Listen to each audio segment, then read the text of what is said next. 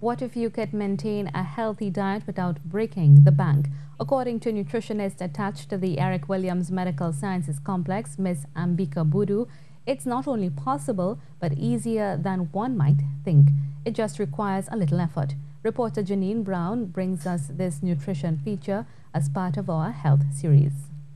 Eating healthy doesn't have to put you out of pocket. So says dietitian Ambika Budu. The biggest challenge in eating healthy, she says, is the commitment it requires. It requires effort, it requires planning. So you have to make that, that choice and you have to decide, well, I have to choose certain items that I need to be healthy. And then you have to take the effort to go and find those items and again store them appropriately so you have them to use in a healthy way.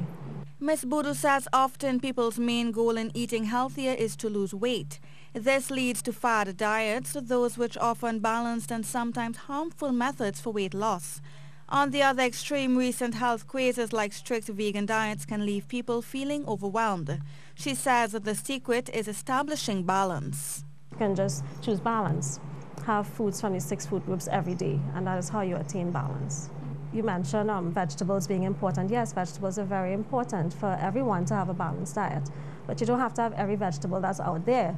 You can use what's in season. So if cucumbers are in season, you buy a lot of it. Tomatoes are in season, you buy a lot of it. You might get fed up of it, but you still will have balance by including the vegetable in there. Ms. Budu says a healthy diet can also make for a better time in the bedroom. Sexual performance can be um, viewed as a physical activity or sport, right? But the thing is, it, it, the same rules apply. So if you want to be fit, you want to have a good sexual drive, you need to be healthy, you want to have energy. Now we know that certain foods are also aphrodisiacs, which tend to affect your hormone levels and stuff. Chocolate is one of those. Certain mushrooms also, uh, some of those. People, some people choose to drink energy drinks and other types of drinks that give you boosts of energy, right? But there are also drawbacks to those because you get this slump after. Referencing the fact that Trinidad and Tobago and by extension the Caribbean battles greatly with lifestyle diseases such as obesity, type 2 diabetes and hypertension, she says that the food at the end of the day is just one part of the puzzle for creating a better life. Staying active is just as important. Janine Brown, C News.